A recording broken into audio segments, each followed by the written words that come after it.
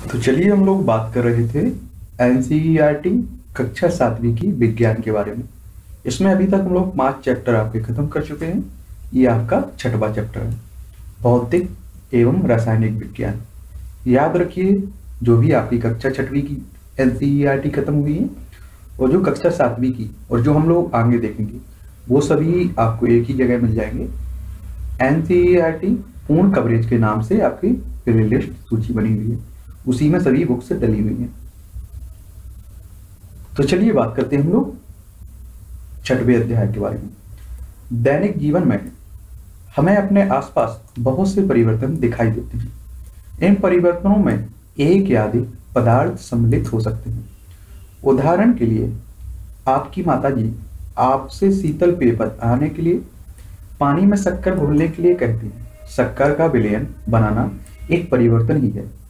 इसी प्रकार दूध से दही जमाना एक अन्य परिवर्तन है। कभी कभी दूध खट्टा हो जाता है।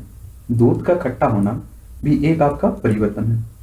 खिंचा हुआ रबड़ बैंड भी किसी परिवर्तन को प्रदर्शित करता है। ऐसे दस परिवर्तनों की सूची बना सकते हैं। बनाइए। इस अध्याय में हम कुछ क्रियाकलाप क्रियाकलाप करके इन परिवर्तनों की प्रकृति का अध्ययन करेंगे। व्यापक रूप से ये परिवर्तन दो प्रकार के होते हैं। एक आपका भौतिक और दूसरा रासायनिक। याद रखिए, आपको एक इस क्रियाकलाप के चक्र में नहीं बीतना है। आपको बस पढ़ के निकल जाना है। ना क्योंकि ये क्रियाकलाप कक्षा सातवीं के बच्चों के लिए, जो पढ़ते हैं, उन्हीं के लिए है। वही दोहराते रहेंगे। अगर आप लोग इस चक्र में बीत गए तो एक से डेढ़ साल इसी में लग जाएगा। बात करते हैं भौतिक परिवर्तन। कागज़ के एक टुकड़े को चार वर्गाकार टुकड़ों में काटिए अब प्रत्येक वर्ग को पुनः चार टुकड़ों में काटिए इन टुकड़ों को फर्श अथवा किसी मेज पर इस प्रकार लगाइए, जिससे ये टुकड़े परस्पर जोड़कर कागज़ के टुकड़े का मूल आकार ले लें। स्पष्ट रूप से आप टुकड़ों को पुनः जोड़कर मूल टुकड़ा नहीं बना सकते हैं। पहले अपन चार टुकड़ों में एक पेज को बांट देते थे अगर उससे पुनः हम लोग उसमें फुल कागज़ बनाना चाहें तो नहीं बना सकते हैं उससे लेकिन क्या कागज़ के गुण में कोई परिवर्तन हुआ है? बिल्कुल नहीं। इस तरह से, ठीक? अपनी कक्षा के चौक बोर्ड के आसपास फर्श पर गिरे, चौक पाउडर को एकत्रित करें लें अथवा चौक के एक छोटे टुकड़े का चूर्ण पाउडर बना लें, इस पाउडर में थोड़ा जल मिलाकर पेस्ट बना लें, इसे चौक के आकार में बेल, बेलकर सूखने दें। क्या आप चौक के पूर्ण चूर्ण से फिर चौक बना सकते हैं। बिल्कुल। कांच या प्लास्टिक के कचरे में थोड़ी बर्फ़ लीजिए। बर्फ़ के थोड़े से भाग के पिघलने का पिघलने तक बर्तन को धूप में रखें। अब आपके पास बर्फ़ और जल का मिश्रण होगा। अब आप कटोरी को हिमकारी मिश्रण यानी कि बर्फ़ और नमक में रख दें। क्या जल फिर से ठोस हो जाएगा जी। क्रियाकलाप सिक्स पॉइंट फोर। एक पात्र में थोड़ा सा जल लेकर उसे उबालिए। क्या आपको जल की सतह से भाप निकलती दिखाई देती है? उबलते हुए जल से कुछ दूरी पर भाप के ऊपर किसी बर्तन को उल्टा करके रखिए। बर्तन की भीतरी सतह को देखिए। क्या आपको वहाँ जल की कुछ बूंदें दिखाई देती हैं? बिल्कुल देती ज्वाला पर कार्य करते समय ध्यान रखें। क्रियाकलाप सिक्स पॉइंट फाइव। उपयोग किए जा चुके लोहे की यारी के ब्लेड को चिमटे से पकड़िए। ब्लेड के मुक्त सिरे के अग, अंगले भाग को गैस स्टोव की ज्वाला पर रखिए। कुछ मिनट तक प्रतीक्षा कीजिए। क्या ब्लेड के अग्रभाग के रंग में कोई परिवर्तन होता है? ब्लेड को ज्वाला से हटाइए। कुछ समय बाद अग्रभाग को पुनः देखिए। क्या इसका कोई पहले वाला रंग वापस आ जाता है? क्रियाकलाप 6.1 और 6.2 में। आपने देखा है कि कागज़ तथा चौक के माप साइज़ में परिवर्तन हो जाता है। क्रियाकलाप 6.3 और 6.4 में जल की अवस्था परिवर्तित हो जाती है। ठोस से द्रव और गैस से द्रव।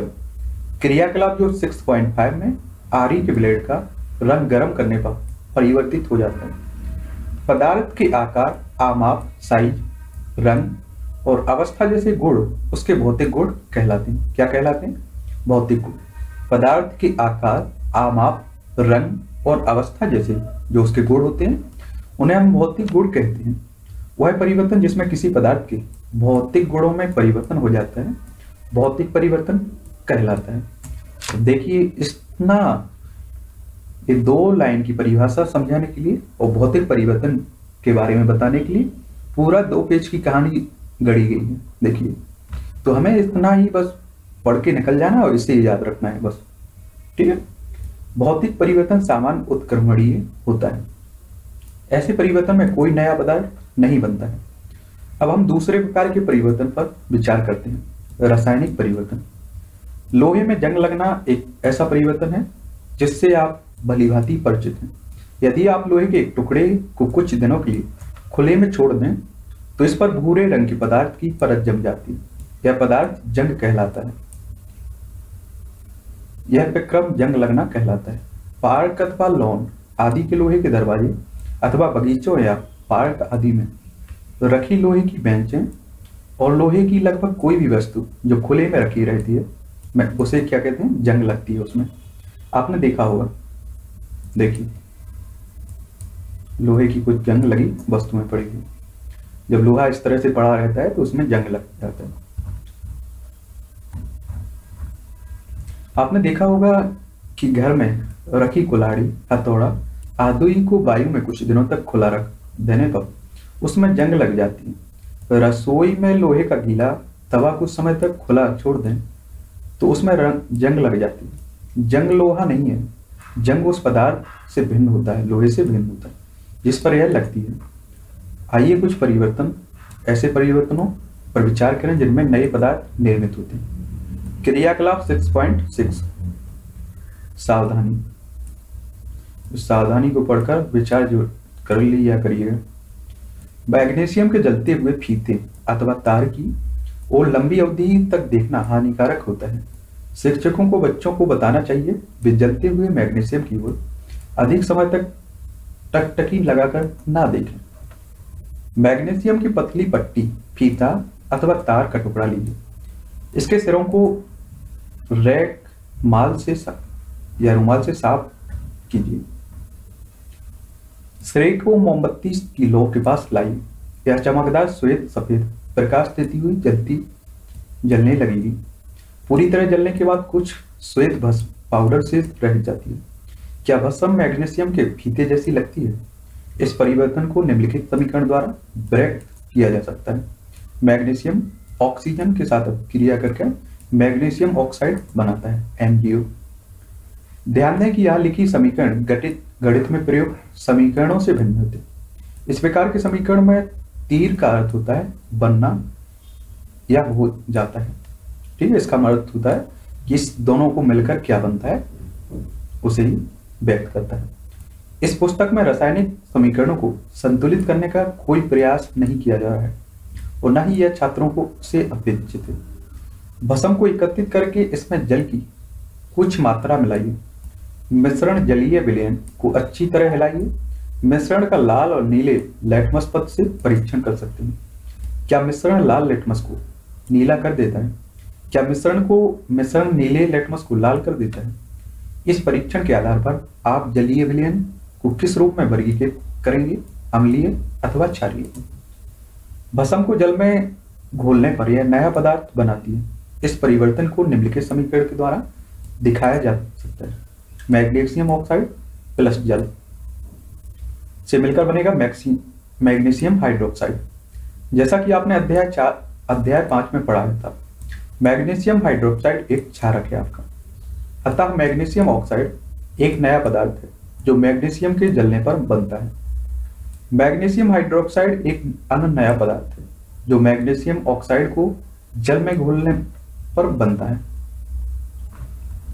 क्रियाकलाप सेवन सिक्स पॉइंट सेवन कांच के गिलास या कटोरे अथवा चौड़े मुँह की बोतल में लगभग आधा कप पानी लेकर उसमें एक चम्मच कॉपर सल्फेट नीला थोता कॉपर सल्फेट को क्या बोलते हैं? नीला थोता घोल लीजिए।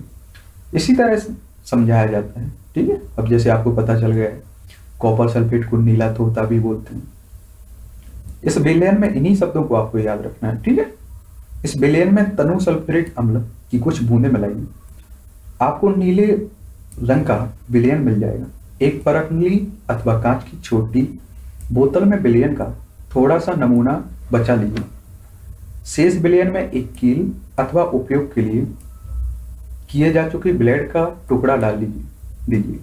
लगभग आधे घंटे तक प्रतीक्षा कीजिए। अब बिलियन के रंग को देखिए। इसकी तुलना अलग से बचाए गए नमूने वाले बिलियन के रंग से कीजिए।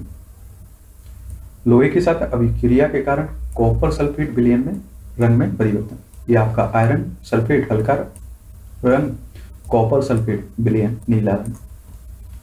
क्या आपको बिलियन के रंग में कोई परिवर्तन दिखाई देता है? कील अथवा ब्लेड को बाहर निकाल लीजिए क्या इसमें कोई परिवर्तन दिखाई देता है? आपको जो परिवर्तन दिखाई देते हैं, वे कॉपर सल्फेट और लोहे के बीच अभिक्रिया के कारण होते हैं। बिलियन के रंग का नीला, नीले से हरा हो जाना एक नए पदार्थ आयरन सल्फेट के बनने का कारण होता है। लोहे की कील पर भूरा निक्षेप कॉपर या तांबे की परत के कारण होता है, जो एक अन्य नया पदार्थ है। हम इस अभिक्रिया को निम्न प्रकार से व्यक्त कर सकते हैं। कॉपर सल्फेट का विलयन सी यू एसओ फोर एस का रासायनिक सूत्र है ठीक है? नीला तोता भी बोलते हैं। लोहा का सूत्र, रासायनिक सूत्र एफ़ ये अभिक्रिया करते हैं आयरन सल्फेट ऑफ़ विलयन बनाते हैं। F E S O four हरा। कॉपर भी इसमें मिलता है, भूरा नीचे। अब बात करते हैं क्रियाकलाप 6.8 के बारे में। किसी परकनली में लगभग एक चम्मच सिरका लीजिए। इसकी चुटकी भर खाने का सोडा लीजिए। आपको एक बुदबुदा हट की ध्वनि सुनाई देगी और गैस के बुलबुले बाहर निकलते दिखाई देंगे।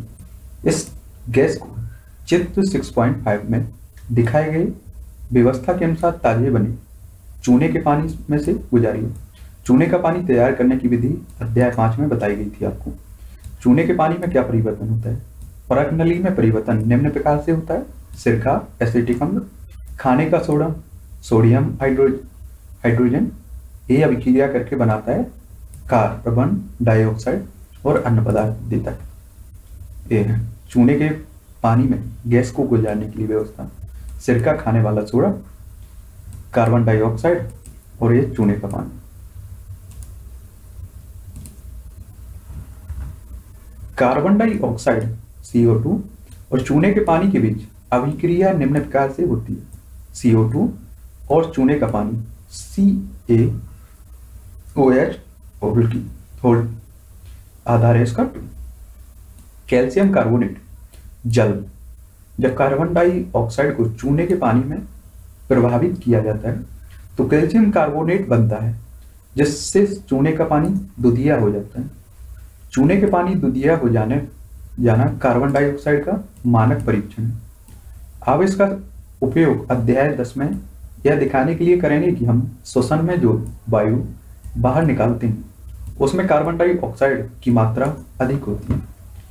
क्रियाकलाप 6.6 6.8 में आपने देखा है कि प्रत्येक परिवर्तन में एक या अधिक नए पदार्थ बने थे। क्रियाकलाप 6.6 में मैग्नीशियम को वायु की उपस्थिति में जलाने पर बनने वाली भस्म एक नया पदार्थ थी। क्रियाकलाप 6.7 में कॉपर सल्फेट की लोहे के साथ अभिक्रिया से आयरन सल्फेट और कॉपर बने थे। ये दोनों नए पदार्थ थे। कॉपर लोहे के ब्लेड पर निक्षेपित हो गया था। क्रियाकलाप 6.8 में सिरका और खाने के सोडे की अभिक्रिया से कार्बन डाइऑक्साइड बनी CO2 बनी। जिसने चूने के पानी को दुधिया कर दिया। क्या आप इस अभिक्रिया में बनने वाले नए पदार्थ का नाम बता सकते हैं। वह है परिवर्तन, जिसमें एक अथवा एक से अधिक नए पदार्थ बनते हैं। रासायनिक परिवर्तन कहलाता है। रासायनिक परिवर्तन को रासायनिक अभिक्रिया भी कहते हैं। अब देखिए, ये दो तीन लाइन की परिभाषा पूरा बताने के लिए कितना पूरी कहानी गढ़ी गई है। ठीक है? इतना केवल यहाँ से लेकर यहाँ तक की बताने के लिए हमें। वह परिवर्तन, जिसमें एक अथवा एक से अधिक नए पदार्थ बनते हैं, रासायनिक परिवर्तन कहलाते हैं। रासायनिक परिवर्तन को रासायनिक अभिक्रिया भी कहते हैं। रासायनिक परिवर्तन हमारे जीवन में अत्यधिक महत्वपूर्ण है। सभी नए पदार्थ रासायनिक परिवर्तन के परिणाम स्वरूप ही बनते हैं। उदाहरण के लिए भोजन का पाचन, फलों का पकना, अंगूर का किड़वन आदि विभिन्न रासायनिक परिवर्तनों के कारण होता है। औषधि रासायनिक अभिक्रिया की श्रृंखला का अंतोत्पाद होती है। उपयोगी नए पदार्थ जैसे प्लास्टिक और अपमार्जक को रासायनिक अभिक्रिया द्वारा ही बनाया जाता है। वास्तव में प्रत्येक नए पदार्थ की खोज रासायनिक परिवर्तनों का अध्ययन करके ही की जाती है। हमने देखा है कि रासायनिक परिवर्तन में एक या एक से अधिक नए पदार्थ निर्मित होते हैं। नए उत्पादों पदार्थों के अतिरिक्त रासायनिक परिवर्तन में नए घटनाओं, घटनाएँ भी हो सकती हैं। ऊष्मा विकास अथवा किसी अन्य प्रकार के विकरण, उदाहरण के लिए परावैग्नि का निर्मुक्त बाहर निकलना, अथवा उनका अवशोषित होना, ध्वनि का उत्पन्न होना, गंध में परिवर्तन होना, अथवा किसी नई गंध का बनना, रंग में परिवर्तन होना, किसी गैस का बनना। आइए अब हम कुछ अन्य उदाहरण पर विचार कर सकते हैं। आपने देखा कि मैग्नीशियम के फीते का जलना एक रासायनिक परिवर्तन है। कोयला, लकड़ी अथवा पत्तियों का जलना भी रासायनिक परिवर्तन है। वास्तव में किसी भी पदार्थ का जलना एक रासायनिक परिवर्तन है। जलने के साथ सदैव ऊष्मा का उत्पादन होता है। पटाखों का विस्फोट एक अन्य रासायनिक परिवर्तन है। आप जानते हैं कि ऐसे विस्फोटक, विस्फोट से ऊष्मा, प्रकाश, ध्वनि और आरुचिकर गैसें उत्पन्न होती हैं, जो वायुमंडल में को दूषित प्रदूषित करती हैं। इसलिए आपको पटाने न जलाने की सलाह दी जाती है। जब आप भोजन सामग्री बासी हो जाती है अथवा सड़ गल जाती है तो उससे दुर्गंध आने लगती है। क्या है? हम इस परिवर्तन को रासायनिक परिवर्तन कह सकते हैं। संभवतः आपने देखा है होगा कि यदि सेव को काटने के बाद तत्काल ना खा लिया जाए तो उससे कटे हुए टुकड़े भूरे रंग के हो जाते हैं। यदि आपने रंग में यह परिवर्तन नहीं देखा है तो किसी सेव का एक टुकड़ा काटिए उसे कुछ देर तक ऐसा ही छोड़ दीजिए। इसी प्रकार के का क्रियाकलाप, आलू अथवा बैगन के टुकड़े के साथ दोहराइए। ऐसी प्रत्येक स्थिति में रंग का परिवर्तन वास्तव में किसी नए पदार्थ अथवा पदार्थों के बनने के कारण होता है। क्या यह पर परिवर्तन रासायनिक परिवर्तन नहीं है? सुरक्षात्मक आवरण। आपने वायुमंडल में ओजोन की परत के बारे में अवश्य सुना होगा। यह हमें सूर्य के प्रकाश में उपस्थित हानिकारक परावैग्नि किरणों से बचाती है। ओजोन परावैग्नि विकिरण को अवशोषित कर लेती और ऑक्सीजन में परिटा परिटता हो जाती ऑक्सीजन ओजोन से भिन्न होती क्या हम ओजोन को अपघटन, ओजोन के जो अपघटन को रासायनिक परिवर्तन कह सकते हैं? यदि ओजोन द्वारा परावैग्नि किरणें विकिरण अवशोषित नहीं होती तो पृथ्वी की सतह पर पहुंचकर हमें और अन्य जीवों को हानि पहुँच, पहुंचाती। ओजन इस विक्रम से हमें सुरक्षा प्रदान करने में प्राकृतिक आवरण की तरह कार्य करता है। आगे बात करते हैं अध्याय दो में सॉरी अध्याय पाँच में। अपने अम्ल क्षारक की परस्पर मिलाकर उदासीन क्रिया किया था। क्या उदासीकरण की अभिक्रिया रासायनिक परिवर्तन है? लोहे में जंग लगना। लोहे में जंग लगना। आइए हम जंग लगने की घटना पर पुनः विचार करते हैं। यह एक ऐसा परिवर्तन है जो लोहे की वस्तुओं को प्रभावित करता है और धीरे धीरे उन्हें नष्ट कर देता है। चूँकि लोहे का उपयोग सेतु, पुल, जहाज़, कार, ट्रक आदि का ढांचा बनाने और अन्य कई कई वस्तुओं को बनाने के लिए किया जाता है। अतः जंग लगने के कारण होने वाली आर्थिक हानि बहुत अधिक होती है। जैसे लंग, जंग लगने की प्रक्रिया को निम्नलिखित समीकरण द्वारा व्यक्त किया जा सकता है। लोहा हो गया ऑक्सीजन हो गया और वायु प्लस जल से अभिक्रिया कर कर जंग। आयरन ऑक्साइड बोलते हैं इसे।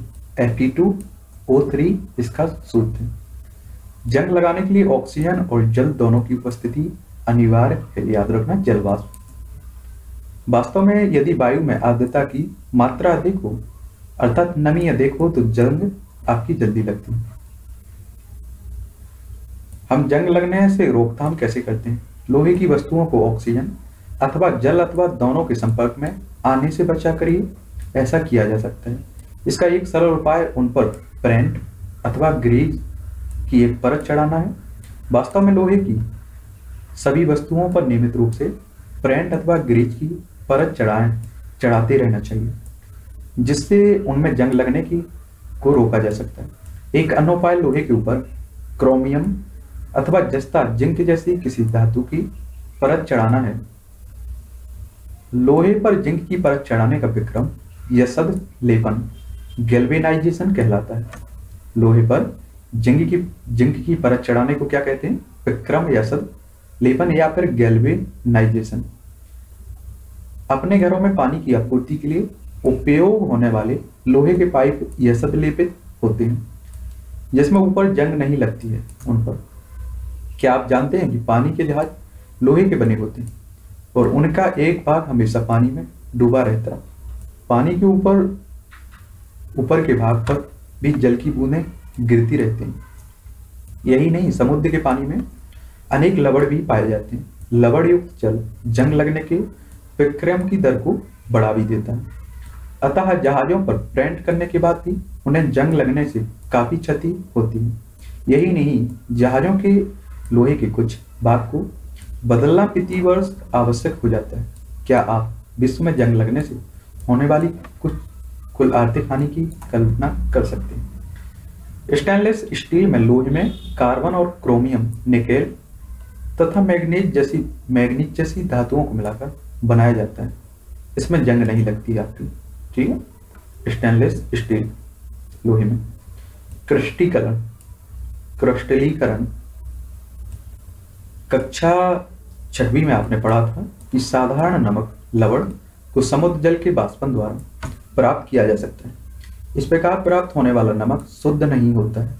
उसके क्रिस्टलों के आकार को स्पष्ट रूप से नहीं देखा जा सकता है। तथापि किसी पदार्थ के शुद्ध क्रिस्टल उसके विलयन से प्राप्त किए जा सकते हैं। यह प्रक्रिया क्रिस्टलीकरण कहलाती है। भौतिक परिवर्तन का एक उदाहरण है आपका। ठीक है? केवल तनु सल्फ्यूरिक अम्ल का उपयोग करें, जल को उबालते समय सतर्क रहें। क्रियाकलाप 6.9 में अम्ल का उपयोग किया जाना चाहिए, जाना है। अतः इसे शिक्षक की उपस्थिति में किया जाए। किसी बीकर में लगभग एक कप जल लीजिए और उसमें तनु सल्फ्यूरिक अम्ल की कुछ बूंदें मिलाइए जल को गर्म कीजिए। जब जल उबलना आरंभ कर दे तो इसमें धीरे धीरे कॉपर सल्फेट चूर्ण का निरंतर चलाते हुए मिलाएँ। कॉपर सल्फेट का चूर्ण मिलाना तब तक जारी रखें, जब तक कि उसमें और कॉपर सल्फेट घोलना संभव ना हो। विलेयन को फ़िल्टर पेपर की सहायता से छान लीजिए।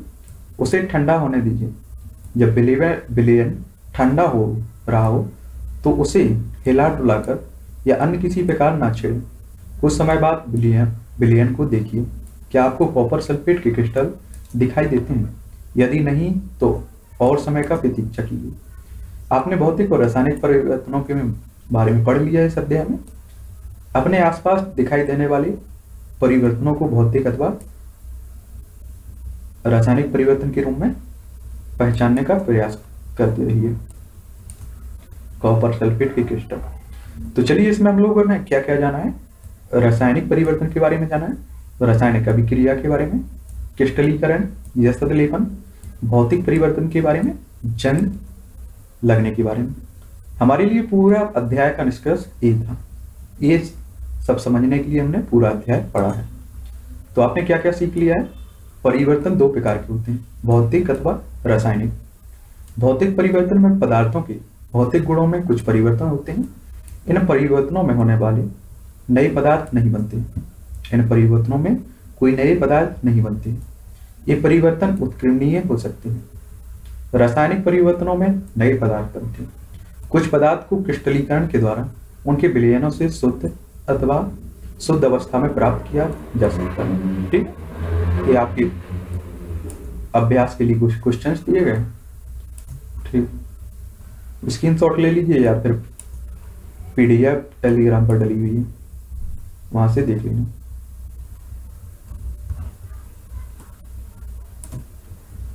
अच्छे से पढ़ते रहिएगा। इसमें ऐसा कोई भी टर्म्स नहीं मिलेगा जो आपको समझ में ना आ सके।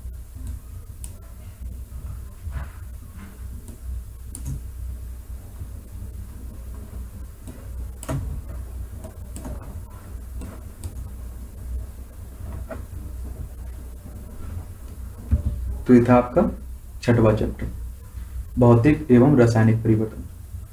अध्याय सात में बात करेंगे मौसम, जलवायु, तथा जलवायु के अनुरूप जंतुओं द्वारा अनुकूलन।